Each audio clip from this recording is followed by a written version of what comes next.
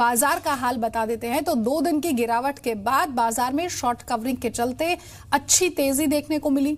मिले जुले ग्लोबल संकेतों की तर्ज पर भारतीय बाज़ार की सुस्त शुरुआत हुई, लेकिन कारोबारी सत्र के दौरान बाज़ार में धीरे धीरे खरीदारी बढ़ी और बाज़ार दिन के ऊपरी स्तरों के करीब बंद हुआ। छोटे मझौले शेयरों में भी खरीदारी का रुझान रहा। कारोबार खत्म होने पर सेंसेक्स दो सौ इकसठ और निफ्टी इकसठ अंक की बढ़त के साथ बंद हुए। बाज़ार की तेज़ी में मेटल, बैंक और ऑटो शेयरों का सबसे ज़्यादा योगदान रहा वहीं ऑयल मार्केटिंग कंपनियों के शेयरों में बिकवाली देखने को मिली। तो निफ्टी आज 10,750 के पार बंद हुआ। बाज़ार की दो दिन की गिरावट जो है वो आज थम गई।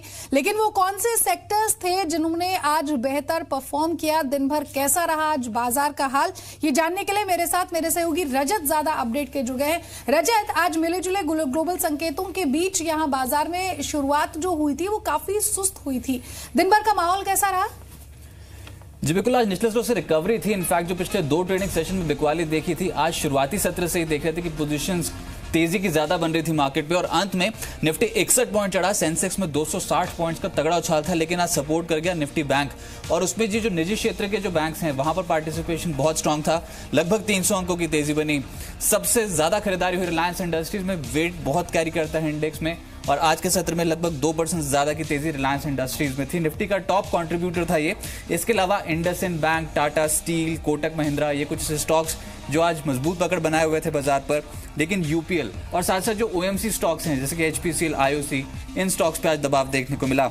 एनबीएफसी एज अ पॉकेट चला, जिसमें M and M finance Dewan housing Shriram transport शामिल थे। प्राइवेट बैंक जैसे मैं बात कर रहा हूँ, आज दिन था इन स्टॉक्स का, जिसमें IndusInd IDFC bank Bandhan yes bank जैसे स्टॉक्स चले। मेटल्स रिकवरी थी आज वेदांता टाटा स्टील, क्योंकि पिछले दो ट्रेडिंग सेशंस में बहुत ज़्यादा बिकवाली ऑलरेडी इन स्टॉक्स पे हो चुकी थी, और फार्मा तो वैसे ही अट्रैक्टिव है ही, लेकिन ये कुछ ऐसे स्टॉक्स जो लगातार चल रहे हैं। अबॉट इंडिया और मर्क काफ़ी अच्छी पोजिशन बन रही हैं स्टॉक में। बायोकॉन भी चला एडीएजी एज अ पैक आज अच्छे रिटर्न्स दे रहा था। चार परसेंट तक की तेज़ी इन तमाम स्टॉक्स में देखने को मिल रही थी। लेकिन कुछ स्टॉक्स जो डिसअपॉइंट कर रहे थे, उसमें था इंडिगो वायदा बाज़ार में ज़बरदस्त बिकवाली थी आज। सात परसेंट टूट गया। मन पसंद अवंती फीड्स और कॉपरेशन बैंक भी टूटते हुए नज़र आए। व्हील्स इंडिया जैकॉप केपीआर मिल और जेंटेक स्मॉल कैप कैटेगरी में, जहाँ पर एक्शन स्ट्रॉन्ग था ठीक है। बहुत बहुत शुक्रिया आपका रजत इस तमाम अपडेट को हम तक पहुँचाने के लिए।